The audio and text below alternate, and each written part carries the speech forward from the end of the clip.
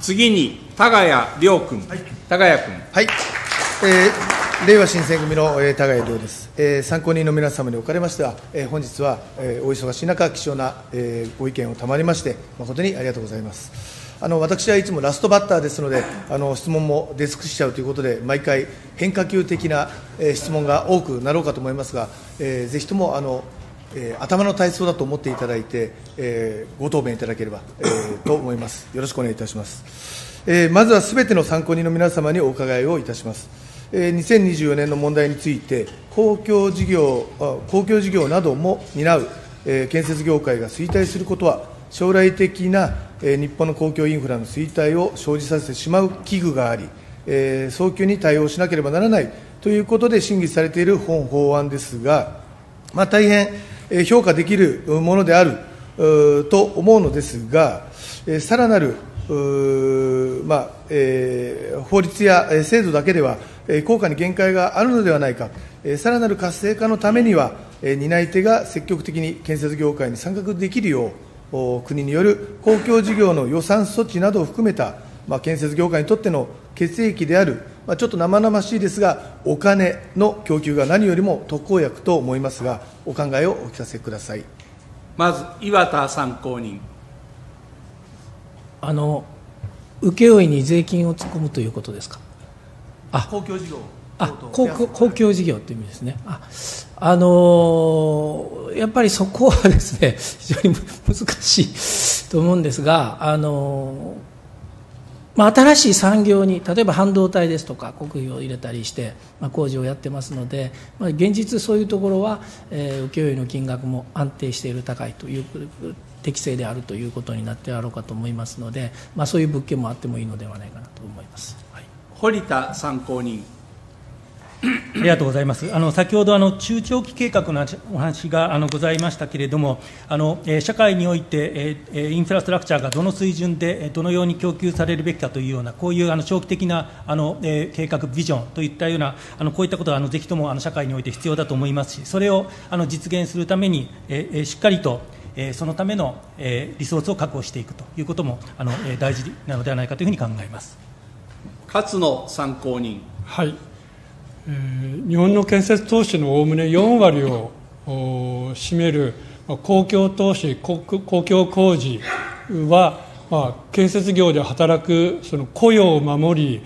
そこに働く人の生活を守る、まあ、そういう点からもあの非常に重要な点だと思っておりますのであのその金額はやっぱり一定のやっぱり維持というものが必要だというふうに思っております。とりわけやっぱり地方における役割というのは大きいものがあるというふうに考えております。楠木参考人、はい。えー、あの公共事業に対してきちんとお金を払うということ まさにあの社会のコンセンサスがあるのが前提だと思うんですね、それをきちんと図っていくことが大きな話だと思います、で具体的な話としては、例えばそのえ低入札調査基準価格とかですね、最低制限価格とか、そういった具体的な入札契約におけるさまざまな仕組みというのを機能させることが大事だと思っております。田谷良君。はい、ありがとうございます。えー、続きましても、すべての参考人の皆様にお伺いします。まあ、そもそも論になりますけれども、まあ、建設業は民間の事業だけでは立ち行かない状況の中で、まあ、年間公共事業費をピーク時の1998年の14.9兆円と、2022年の8.1兆円を比較すると、約まあ45%減にまでまあ削減をされてきました。まあ、建設業に人が従事したくなるという新 4K、まあ、すなわち、えー、給料がよく、休暇が取れ、希望があり、格好がいい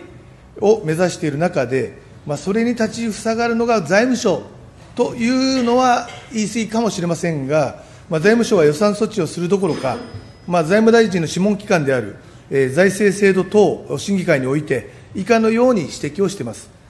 えー、資材価格高騰に関して、資材価格はこれまでも継続的に上昇してきた、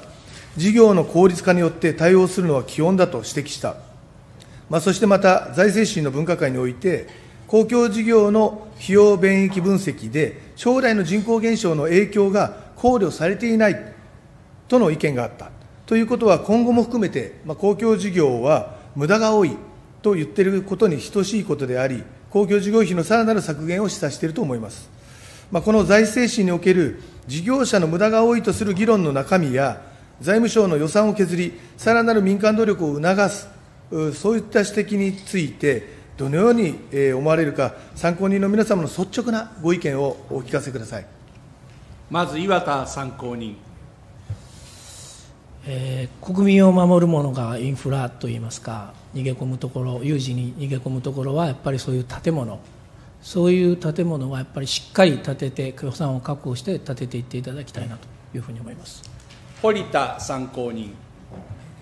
えーあの公共事業におけるあの費用便益分析等においてですねあの、えー今後のあの人口動態等をあの十分考慮すべきというのはあのその通りかと思いますが実際のあの分析においてそれらがあの行われてないというふうにはあの必ずしも考えてございませんあの、えー先ほどとあの繰り返しになってしまうかもしれませんけれどもあの将来にわたる、えーインフラに対する社会的な需要にしっかりと応えられるようなそういう体制をあの国としてあの整備すべきではないかと思います。勝野参考人。先ほども申し上げましたとおり、公共投資はあの必要なものだという理解のもとに、えーまあ、優先順位を、ね、どのようにあの考えていくのかという点については、しっかりとそれぞれの地域なり国でやっぱり論議をしていただくということが大切だろうと思っております。楠木参考人。あのこれはなかなか難しい問題もあるんですけども、その公共事業に関しては、そのジェットコースターみたいに急に増やしたり減らしたりっていうのは、必ずしも良くないと思っていて、ですねあの本当にこう90年代のいわゆる内需拡大の時にですねガーッと公共工事を増やして、2000年代に入って急に減らしたということで、建設業者がどんどんいなくなってしまって、で今度、災害が起きたらどうするんだってことで、担い手がいないっていう。でこれっていうのはある程度計画をきちんとしていかないといけない話だと思うんですけどもどうもその時々のその風潮というか世相によってですね急に増えたり減ったりするっていうこれが一番いけないことかと思っております田谷亮君。はい、ありがとうございます。まあ、続きましても、すべての参考人の皆様にお伺いをいたします。まあ、これもちょっと法案とは直接関係ないかもしれませんが、まあ、担い手不足を加速させる要因の一つとして、まあ、昨年10月から、まあ、インボイス制度の導入によって、ベテランの一人親方の廃業が、まあ、日本各地で相次いで、まあ、技術の、まあ、継承など